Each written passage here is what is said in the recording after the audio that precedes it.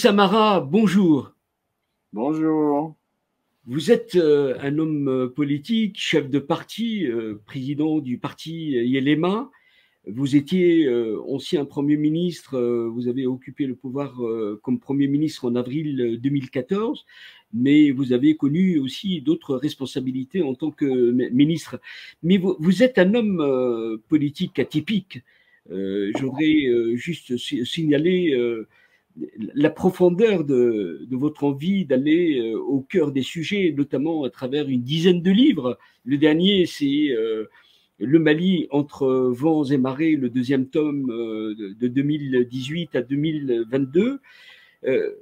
Avec vous, j'ai envie d'abord d'aller dans la profondeur de l'analyse de la situation malienne. Quand on fait une radioscopie complète et pour aller à l'essentiel, c'est-à-dire quels sont, selon vous, les, éléments qu'il faut euh, décrypter, qu'il faut avoir pour décrypter euh, convenablement la situation d'aujourd'hui en 2023 C'est une excellente question, euh, Hichem, parce que effectivement, comme vous le dites, on a beaucoup d'analystes autoproclamés des questions maliennes et des questions sahéliennes qui se bornent à des constats superficiels et à des recommandations qui ne peuvent donc euh, être substantielles et qui ne peuvent euh, adresser les différents facteurs de la crise très complexe à laquelle notre pays fait face et à laquelle le Sahel en entier fait face. Et tant qu'on ne prend pas en compte un certain nombre d'éléments qui sont structurels, même structurantes du Sahel, il est très difficile de comprendre les relents de cette crise et la profondeur euh, de sa complexité. C'est pourquoi la question me semble essentielle pour commencer. Le Sahel et le Mali hein, euh, sont une partie de l'Afrique, à mon avis, qui est la plus défavorisée par la nature. Les questions climatiques sont des questions stratégiques et mhm. nous n'avons pas attendu, attendu ces 20 dernières années pour être face aux questions climatiques depuis une quarantaine, une cinquantaine d'années sur le mhm. Sahel. Il y a des organisations dans le Sahel qui ont été créées dans les années 70 pour adresser les questions climatiques, les hmm. questions de sécheresse, les questions de ressources naturelles. Et ces organisations régionales sont en train de travailler aussi bien sur le plan de la recherche que sur le plan de la formation, que sur le plan des prévisions. Et ces organisations sont remarquables. Euh, je voudrais citer simplement le CILT, qui est le comité inter-État de lutte contre la sécheresse dans le Sahel, qui a été créé en 1973. Donc, c'est un, endroit de l'Afrique où la question climatique est au cœur de la vie des populations. Mhm. oui. C'est l'endroit au monde, à mon, avis, à mon avis, qui subit de plein fouet les impacts des changements climatiques. Oui. Les ressources naturelles se raréfient. Oui. Le Mali, par exemple, a perdu ces 30 dernières années deux tiers de ses forêts. Deux tiers. Et donc, vouloir adresser la crise malienne ou même la crise sahélienne sans d'abord regarder cette donne stratégique, c'est de vraiment passer à côté de l'essentiel. Oui. Le second élément à prendre en compte, c'est la démographie. Le Sahel, c'est aussi l'endroit du monde où la croissance démographique est la plus forte. Oui. Deux des trois pays au monde qui ont les croissances démographiques les plus fortes sont dans le Sahel. Mhm. Le Niger et le Mali. Mhm. Nous avons une croissance des populations qui tourne autour de 4% par an. Et avec des ressources naturelles qui diminuent, impactées par les changements climatiques fortement, il y aura mhm. des conflits et des chocs. Quand vous avez des populations de plus en plus importantes et des ressources de moins en moins disponibles, vous avez forcément des chocs. Euh, mais Moussa la, question aujourd'hui, c'est que toutes ces données, euh, vous, l'avez dit, ont été, euh, on, les connaissait, ça a été rappelé dans plein de rapports, mais, mais aujourd'hui, en 2023, c'est qu'on voit que le, Mali est dans un risque de dislocation. Parce que il y a aujourd'hui, quand on est bien informé sur la situation, euh, le pays tient autour de Bamako et ses faubourgs. C'est que le pays est complètement euh, euh, hors contrôle. comment aujourd'hui essayer de, de réfléchir à une solution parce qu'il y a menace sur la demeure? Je suis d'accord avec vous même si je nuancerais évidemment la notion du contrôle du territoire, la présence de l'État et autres, mais je suis globalement d'accord avec vous. Je venais un peu à la troisième, à la troisième cause structurelle à prendre en compte dans le cas de la crise malienne, dans le cas de la crise sahélienne. Ça, ce sont les incapacités étatiques de manière générale. Nos États, nous les avons hérités de la colonisation. Mhm. Malheureusement, de l'indépendance de nos pays jusqu'à aujourd'hui, les États ne se sont jamais adaptés aux sociétés. Donc, mhm. vous avez une cassure entre l'État et la société, et une défiance entre l'État et la société qui entraîne grosso modo le rejet de l'État par la société. Les questions de gouvernance, les questions des élites euh, euh, prédatrices, tout ça participe de ça. Donc aujourd'hui, nous avons un contexte difficile, mais nous avons et surtout une question d'incapacité de l'État à satisfaire les citoyens. Cela engendre des violences, cela engendre des rébellions, cela engendre beaucoup d'actions contre l'État. Le terrorisme tel que nous le vivons dans notre contexte n'est pas un terrorisme de genre international ou géostratégique. Oui. C'est un terrorisme de protestation. Donc c'est plus une insurrection sociale qu'un terrorisme où on veut détruire l'Occident, où on veut détruire je ne sais quel Mhm. quel, pays étranger. Il faut vraiment le comprendre comme ça. Mhm. Donc, on ne peut résoudre durablement la crise malienne qu'en en, travaillant sur ses raisons substantielles. Évidemment, il y a l'urgence. L'urgence actuelle nécessite une réponse armée, une réponse sécuritaire. Nous avons besoin d'armées et de forces de sécurité dignes de ce nom. Il y a des efforts qui sont en train d'être faits, mais il y a beaucoup qui reste à faire.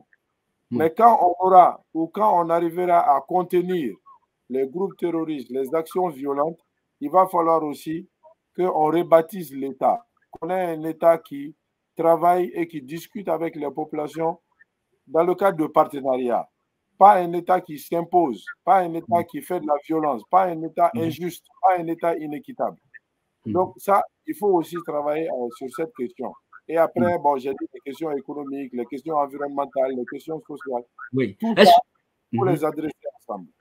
C'est-à-dire qu'aujourd'hui, quand on voit euh, le choix, euh, en tout cas l'adhésion d'une certaine façon euh, de la population sur ce changement de paradigme politique au, Mali, on est face à un bouleversement des, des alliances de ce pays. C'est-à-dire que ce choix paix et sécurité incarnée par les militaires, est-ce que vraiment euh, ça a l'air de satisfaire euh, la, population En tout cas. Euh, ben, évidemment, j'ai dit, les, populations rejettent ce qui s'est fait jusqu'à présent parce que ça n'a pas donné de résultats.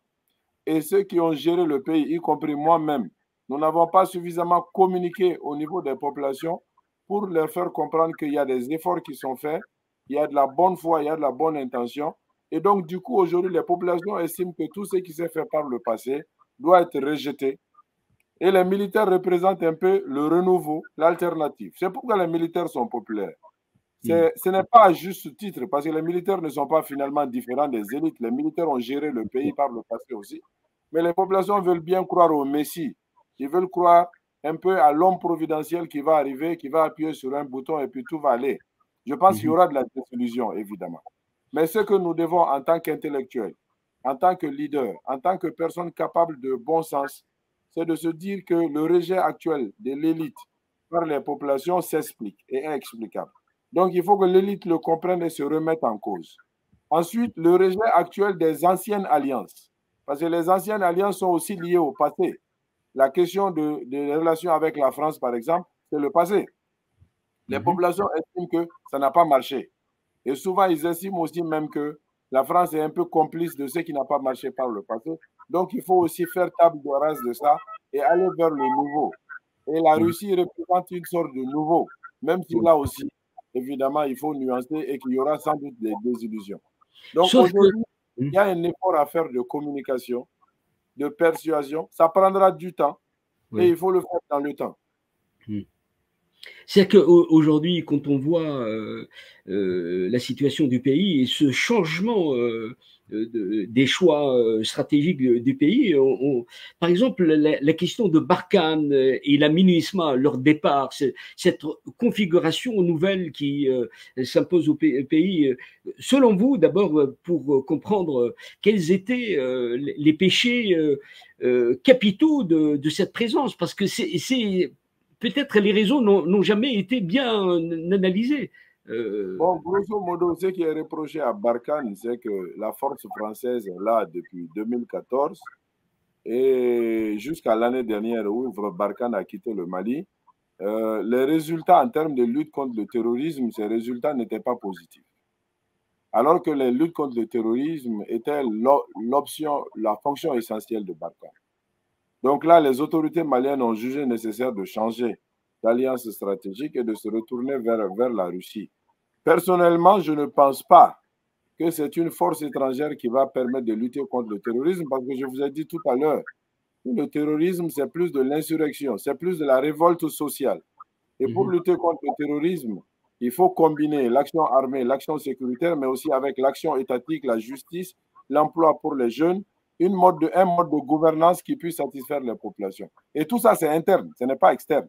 C'est pourquoi des alliances extérieures, et surtout alliances militaires, ne peuvent pas permettre de régler la question terroriste. Donc, Barkhane n'a pas marché. Je ne pense pas que la coopération russe non plus va marcher, parce que c'est à partir du même principe. On amène des armes, on tue le maximum de terroristes. Mais vous tuez 20 terroristes aujourd'hui, 30 viennent adhérer au mouvement terroriste demain. Donc, ça ne finira jamais, ça ne marchera pas. La solution, elle est interne. Il faut qu'on puisse comprendre et on puisse convaincre les Maliens sur cette question. C'est la raison principale pour laquelle Barkhane est, parti. Et c'est à peu près la même raison pour laquelle la aussi a été reproché, bien que le mandat de la MINUSMA n'ait rien à voir avec le terrorisme. mais il y a un pan entier des Maliens qui estiment que la MINUSMA est là, mais le terrorisme, on n'arrive pas à vaincre. Il faut que les élites maliennes expliquent aux Maliens que le meilleur moyen de résoudre le terrorisme, ce n'est pas seulement l'armée et la sécurité, mais c'est aussi la justice, la bonne gouvernance, la création de ressources, le partage équitable des ressources. C'est tout ça qui va nous permettre de régler la question terroriste et, et non seulement l'armée. Euh, comment euh, concilier euh, l'urgence de la situation et, les questions que vous posez qui demandent du temps Le temps long n'est pas entièrement compris complètement par la population. Que, comment être dans le juste milieu de l'action pour pouvoir vraiment... Je suis tout à fait d'accord avec vous. Il faut faire face à l'urgence. J'ai dit tout à l'heure, l'action armée, elle est nécessaire. Nous avons besoin de renforcer, de former, de rendre nos armées plus efficaces et de les adapter au contexte euh, euh, sécuritaire auquel nous faisons face. Mais nous pouvons aussi au même moment agir sur les questions de gouvernance, hmm. avoir des élites qui puissent euh, être moins corrompues, qui puissent travailler à préserver les maigres ressources du pays, qui puissent hmm. s'impliquer à ce que ces ressources soient réparties de manière plus équitable sur le territoire. Par exemple, la question de la décentralisation. Notre pays reste encore trop centralisé. Nous avons mhm. des hôpitaux régionaux à Tombouctou et à Gao qui n'ont même pas de scanner. Alors qu'à Bamako, nous avons des hôpitaux bon, qui ont l'essentiel de ce qu'il faut. Donc, il faut que mhm. nous répartissions aussi les ressources de manière plus équitable sur le territoire et entre les populations. Ça, c'est un nouveau type de gouvernance qu'il faut adapter. Et ça, ce n'est pas une question de, de, délai. Hein. Ça, c'est des choses qu'on peut faire immédiatement. Donc, je pense euh, que là, il y a un effort à faire au niveau de la gouvernance qui tarde à mhm. venir, malheureusement. Est-ce que vous êtes euh, compris euh, quand on examine euh, vos pensées, vos livres, ce que vous écrivez Vous êtes un homme de plume au-delà de l'homme de l'action? Est-ce que, est-ce que vous, vous n'êtes pas un peu trop en avance par rapport à l'évolution de Ça rappelle un peu le, cas de Michel Rocard, l'ancien premier ministre socialiste, qui avait la pertinence et l'intuition des bonnes choses, mais qui n'a jamais pu. Je suis d'accord avec vous, Hichem, mais il appartient à nous qui sommes considérés comme étant en avance, de comprendre les autres et puis de nous adapter aux autres. Et moi, j'essaie de le faire, je continuerai à le faire lors des campagnes électorales, lors de mes actions de terrain, je continuerai à le faire pour, pour continuer à sensibiliser les élites et la population afin de changer un peu de, direction. On, doit sortir du tout sécuritaire, du tout militaire. Euh, si le tour militaire permettait de régler la question terroriste, les Américains n'allaient pas euh, quitter l'Afghanistan de manière précipitée il y a deux ans. Ça, nous l'avons vu. Donc, il faut vraiment que nous comprenions cela. Et moi, je n'arrête pas de l'expliquer partout où je passe. Je continuerai à le faire parce que je mhm. suis persuadé que c'est la meilleure solution. Donc, il nous appartient à nous qui sommes en avance de, de tenir compte de la réalité de nos pays et de nous adapter. Oui, c'est-à-dire que quand on voit, et ça c'est votre démarche qui, est très euh, intéressante, parce que vous reliez toujours, vous, vous partez de cette idée de René Dumont, penser global et réagir local et inversement. C'est que vous avez toujours dans vos analyses ce va-et-vient entre la réalité malienne et son contexte euh, régional. Mais euh, aujourd'hui, on voit que tous les pays du Sahel sont dans, dans, une situation impossible. C'est-à-dire que, est-ce que le Sahel euh, va pouvoir en sortir et, comment? La méthodologie peut-être euh, est à mettre en avant. Pour moi, chaque pays est un peu particulier et a des situations particulières. Donc, il faut voir le Sahel globalement, mais il faut savoir que chaque État doit agir de manière adaptée à ses réalités. Maintenant, ensuite, il faut que les États collaborent. Moi, je n'ai jamais été très fanatique du G5 Sahel parce que l'idée de dire on va tout mettre en commun, ça ne marche pas généralement. Il faut être un tout petit peu plus intelligent. Il ne faut, il faut pas euh, mettre tout en commun ne, ne, fonctionne pas. Donc, que les États individuellement répondent à leurs enjeux euh, nationaux, locaux, et ensuite qu'il y ait une coopération intelligente entre les États sur un des domaines spécifiques. La question du partage d'informations, la question des patrouilles, la question de la surveillance, la question d'autres types de collaboration sur d'autres domaines mais pas en voulant mettre en place une organisation qui va vouloir gérer les questions de transport aérien, les questions de développement de l'agriculture, les questions de sécurité. Ça ne marche pas généralement. On a suffisamment d'organisations en Afrique de l'Ouest et dans le Sahel pour ça. Basons-nous sur les États, essayons de renforcer les États et que les États en interne aussi puissent s'adapter aux réalités locales et ensuite maintenant une coopération plus intelligente, plus légère entre les États. Moi, je crois plus à ça. Vous êtes un homme politique et donc euh, ça veut dire que euh, votre souhait aussi de, conquérir le, pouvoir, les leviers du pouvoir. Comment voyez-vous, euh, en termes d'hierarchisation de l'action, comment procéder pour que les Maliens aillent avec vous et vous accompagnent dans cette vision que vous avez pour le Mali? Moi, je pense que la première chose, c'est de dire un certain nombre de vérités à nos compatriotes par rapport à la situation du pays. 80 à 90% des Maliens ne sont pas vraiment au fait des réalités du pays, y compris les réalités au nord, les réalités au centre, la situation de l'État, la situation financière de l'État, les possibilités de l'État, les difficultés. Il faut que les Maliens, nous puissions les mettre un peu au niveau en termes d'information. Parce que quand les gens sont au courant des réalités, là, en ce moment, ils peuvent se situer en termes d'efforts à fournir. Mais si les gens sont bercés d'illusions, nous avons pas mal de propagandistes, d'activistes sur les réseaux sociaux, qui véhiculent des mensonges, mais des mensonges par tonnes, par tonnes ou par milliers de tonnes. Et donc, ça fait que les populations se laissent souvent aller à des facilités au point de penser que bon, le Mali est un pays très riche, nos ressources sont volées par les autres. Et si on avait nos ressources, nous allons pouvoir devenir comme les États-Unis. Ça, ce sont des choses vraiment sur lesquelles il faut dire la vérité. Le deuxième élément, il faut essayer de rassembler nos compatriotes autour de certains objectifs minimums stratégiques. Le premier, c'est vraiment de régler la question du Nord. Parce que même le terrorisme auquel nous faisons face est partie de la question du Nord. Tant qu'on ne règle pas la rébellion, tant qu'on ne met pas en œuvre l'accord d'Alger sur des aspects essentiels, je pense qu'on on pourra difficilement combattre la, Mais on est en 2023, c'est que depuis de 2012, euh, le début de la crise, qu'on est, on est resté toujours au, même euh, point. Oui, parce que les leaders, malheureusement, la période IBK ne s'est pas traduite par une réelle volonté de mettre en œuvre l'accord d'Alger. Il faut vraiment le reconnaître. L'accord d'Alger, c'est un accord de réforme de l'État, c'est un accord de décentralisation, c'est un accord de régionalisation pour donner du poids aux régions. L'État n'a jamais, jamais pris de mesures dans ce sens. Il faut que urgemment on puisse aller dans ce sens. Le Mali est un pays vaste, divers. On ne peut pas le gérer à partir de Bamako. Ce n'est pas possible. Il faut qu'on donne du poids aux régions et qu'on donne la possibilité aux régions de pouvoir se développer par leurs propres moyens.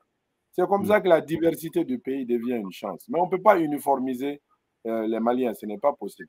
Donc, cet aspect de l'accord n'a jamais été appliqué. Donc, du coup, l'accord elle-même a perdu de sa substance. Moi, je reste persuadé qu'en disant la vérité aux Maliens, en leur rappelant un certain nombre de fondamentaux, on peut rebâtir. Mais en mhm. les alimentant, en les biberonnant de mensonges, on ne fait que tourner en rond. Mhm. La crise, elle ne peut être qu'endémique, elle ne peut finalement que nous emporter à terre. Mhm. Le, Mali, euh, vous l'avez vu, un pays euh, qui, est, euh, qui a 8, 7 ou 8 voisins, donc un pays central en Afrique.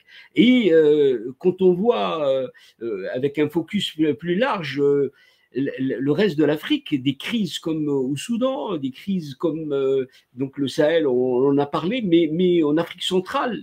C'est que comment voyez-vous les, chances de l'Afrique, pour euh, parler euh, global, pour euh, vraiment trouver la paix et le bien-être pour les populations, parce qu'on est vraiment un, pays, un continent qui souffre. Pour moi, il faut remettre au centre du jeu nos organisations régionales et éviter de multiplier les organisations régionales en Afrique. Par exemple, je prends l'Afrique de l'Ouest. Nous devons mettre la CEDAO au centre et éviter de multiplier des organisations qui concurrencent la CEDEAO. L'optimisation de l'intégration, l'optimisation régionale, ça nous permettra de dégager des ressources qui peuvent être mieux utilisées. Ensuite, au niveau continental, c'est l'Union africaine. L'Union africaine aussi, elle doit être un tout petit peu plus dynamique sur les crises. Il y a la crise soudanaise aujourd'hui qui est la plus violente sur le continent malheureusement, on ne sent pas l'Union africaine et on ne sent pas l'efficacité de l'Union africaine. Donc, à mon avis, sur le plan africain, il faut raisonner région, une seule institution au niveau régional, Afrique, une seule institution au niveau africain, sur les questions de paix, de sécurité, d'intégration. Et maintenant, les États doivent jouer le jeu. Payer leurs cotisations, c'est le minimum. Quand on regarde la situation de nos organisations, on se rend compte que beaucoup d'États ne sont pas à jour de leurs cotisations. Mhm. Donc, ce sont des aspects basiques qu'il faut travailler afin de rendre ces organisations plus efficaces. Mais on ne peut rien faire sans des organisations régionales et sans l'organisation continentale.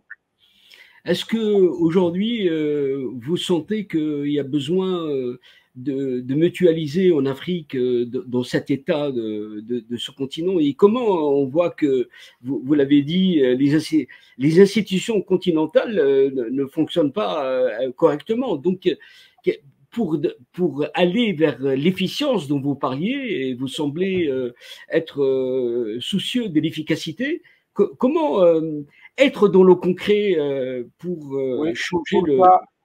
pour ça, Hichem, nous avons besoin que les pays leaders exercent leur leadership.